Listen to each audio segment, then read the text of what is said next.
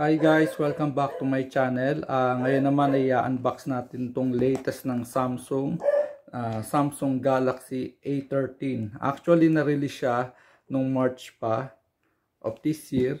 Pero dumating lang dito sa Pinas ngayong April. So 2 weeks pa lang siya. At ngayon ay titingnan natin at i-unbox natin tong bagong-bagong Galaxy A13.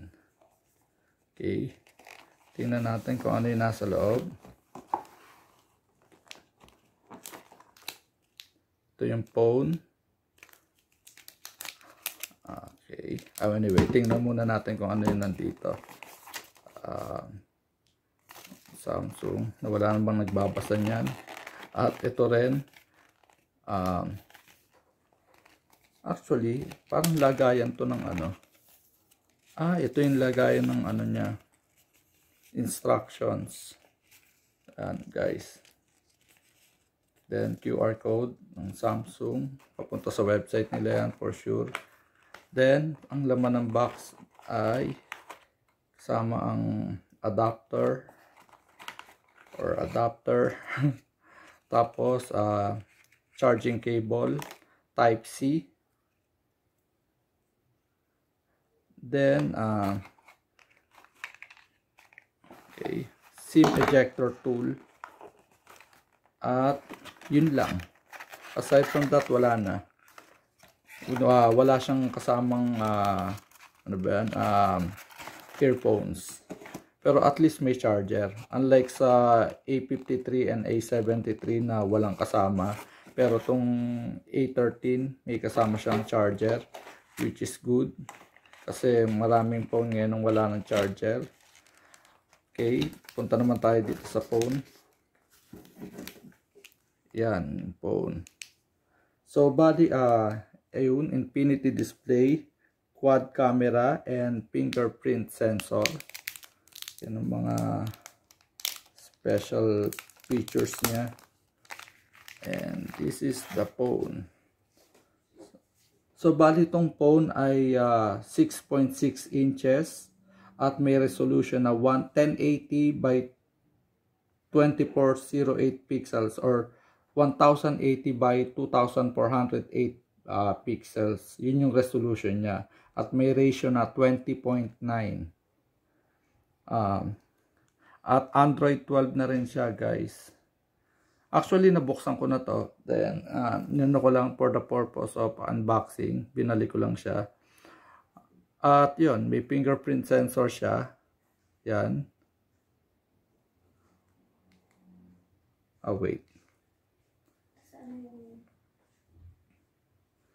Case niya? So, ayan guys. Yun. Mabilis naman yung fingerprint niya. At ito yung phone. Yung mga pre-installed apps. May Netflix, may Spotify, at mga Lazada, at ito yung mga iba pa. Uh, Twitter. And by the way guys, ang variant, dalawang variant niya. 4, ba, 4 gigabytes ng RAM at uh, 128 gigabytes na storage. Then yung isa naman is 6 GB at 128 din. Tapos may tatlong color siya, blue, black, and uh, peach. Pero itong sa akin ngayon is black. Actually medyo gray siya. Para siyang kakulay ng iPhone 8.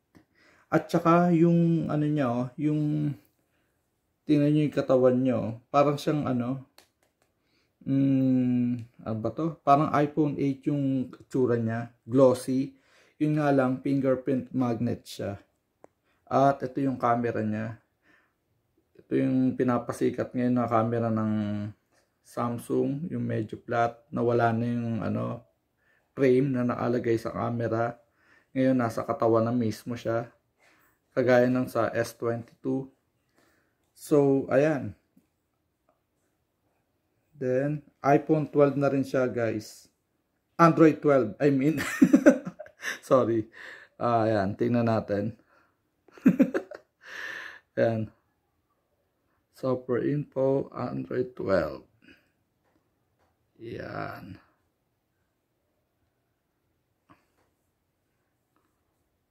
Okay, 12 na rin siya.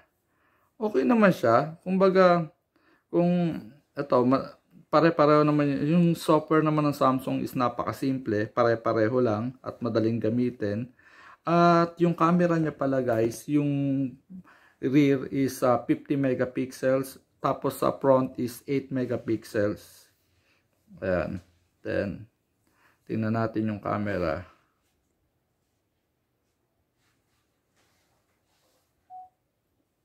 Ayan.